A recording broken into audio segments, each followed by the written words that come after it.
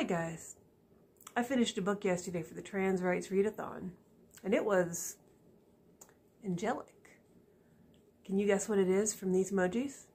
First emoji, not surprisingly, is a church, because the church is a very big part of this book, or a uh, dystopian version of one. The next is a rainbow flag, because they don't have a trans flag uh, emoji, but a rainbow will always do.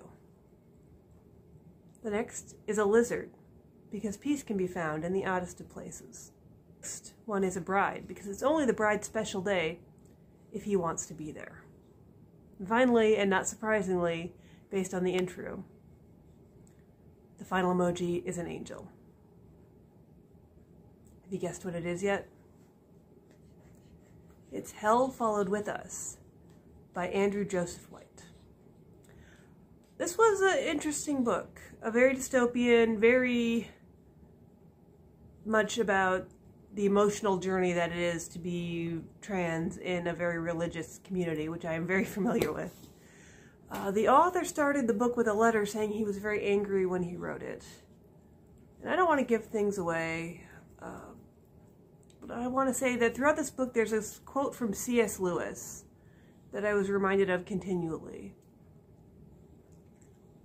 Uh, and I'm going to give you a version of that because the version he gave was gendered because he was a good writer but not a particularly woke man, but perhaps woke for his time. Who knows?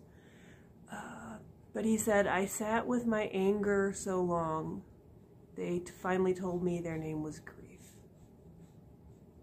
And I think that sums this book up pretty well. I cried a lot while I was listening to it. Anyway, give it a listen or a read. Let me know what you think.